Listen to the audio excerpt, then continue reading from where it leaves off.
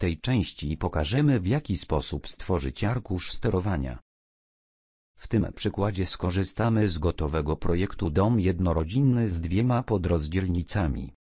Arkusz sterowania zostanie stworzony dla podrozdzielnicy PR2. Wybieramy wyłącznik nadprądowy i przechodzimy do zakładki Dystrybucja, obwód kontrolny, stwórz obwód kontrolny. Następnie w oknie Dokumenty wybieramy Dodaj arkusz sterowania. Został stworzony arkusz sterowania, który jest widoczny w oknie Dokumenty. Jest on dostępny tylko w zakładce Schemat. Teraz dodamy odniesienie.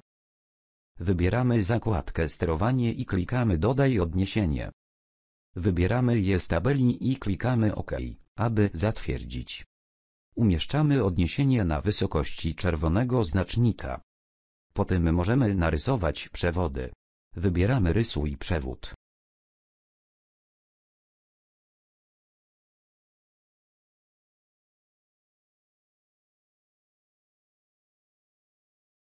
Teraz możemy dodać zegar sterujący. Wybieramy katalog i korzystając z pola filtr wyszukiwania wpisujemy nazwę szukanego produktu. Używamy filtrów, aby wybrać konkretny model i klikamy Dodaj. Domyślny symbol został dodany do schematu.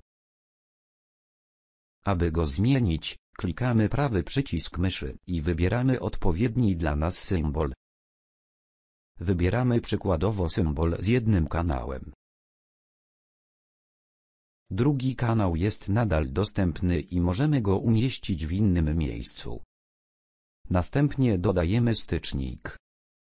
Wybieramy katalog i korzystając z pola filtr wyszukiwania oraz filtrów wybieramy odpowiedni model. Klikamy Dodaj i stycznik zostaje dodany do schematu. Również w tym wypadku możemy zmienić domyślny symbol i wybrać taki, który jest nam potrzebny. Postępujemy tak samo jak ostatnio, klikamy prawy przycisk myszy i z dostępnych symboli wybieramy odpowiedni, na przykład samą cewkę. Dwa pozostałe styki mogą zostać wykorzystane później na diagramie obciążenia. Aby je usunąć klikamy Escape. Następnie możemy narysować przewody.